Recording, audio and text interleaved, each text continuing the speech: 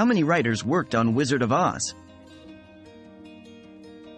The screenplay for Wizard of Oz was written by Noel Langley, Florence Ryerson, and Edgar Allan Woolf.